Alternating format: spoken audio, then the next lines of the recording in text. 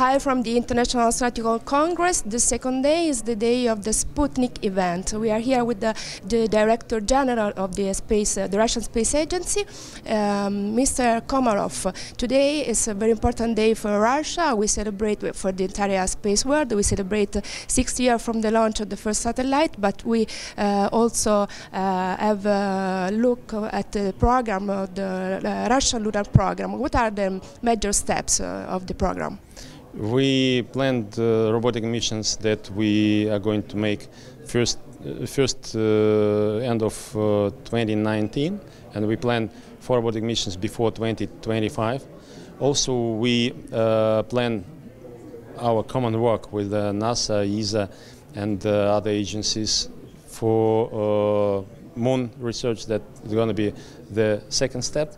It takes a bit longer, and now we are in the process of discussion and discussing technical requirements and uh, uh, what each country should do for the benefit of this project. And the third stage, that is more distant maybe, but uh, we discuss with the uh, initiatives of uh, ESA, European Space Agency, about the Moon Village. Why we have to go back to the moon? It's not go back, it's, it's uh, going forward. Because uh, now the target is not to make just the step, to be the first to put some flag or something and then, then go back. We, what we discussed now in consistent program, how to develop and uh, how to work in uh, space and uh, objects and planets on, uh, in, in, in space.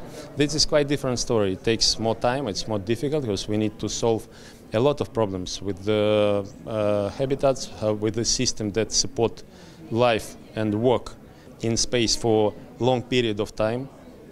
Uh, so we have uh, we, we have to solve the radiation problems and the other problems, delivery of and supply uh, goods, equipment to the to other planets. That cost much, but we need to find technologies that uh, would be safe and uh, provide the, the guarantee of uh, safety of work for a long period of time. Uh, according to your program, when uh, we will see the next man stepping on the moon? and then end of next decade, I guess. So we do not have exact uh, days. We start with the ro- robotic missions, and the second half of the next decade, by 2030, uh, we plan to manned missions to Moon, and hopefully that uh, going to be joint missions with the and the European agency, maybe with other other, other agencies. Thank you very much. Thank you. Hello from uh, the International Astronautical Congress. Uh, we are in Adelaide. We are here uh, with uh, Mr. Krikalev. Uh, is correct my pronunciation? Right, good enough. Good enough, okay. Uh, so, Mr. Krikalev is uh, the uh, Russian cosmonaut who spent uh, more time uh, on space, is it right?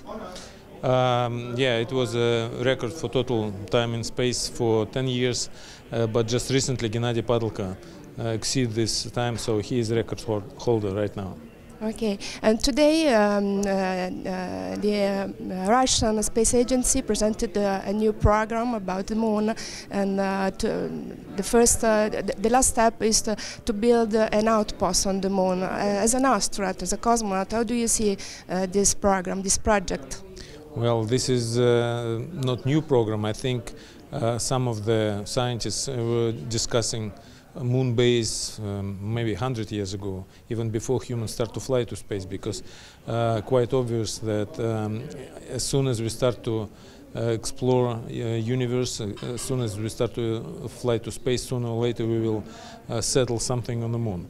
So right now we just uh, try to discuss uh, uh, these plans uh, in real mm, um, uh, as, as a real project because uh, now we have capability to fly there, uh, but still uh, we have a lot of uh, work to be done uh, to make it happening.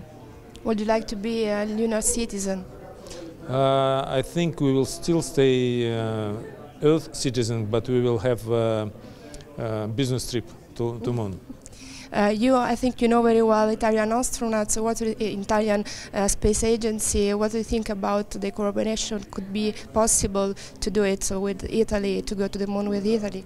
Yeah, I think um European Space Agency in general and uh, uh, agencies inside European Space Agency, they do a good job uh, making all uh, our cooperation for uh, space exploration.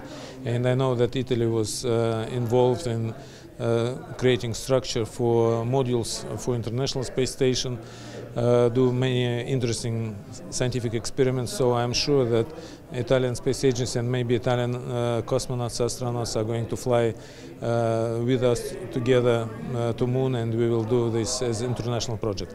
Thank you very much.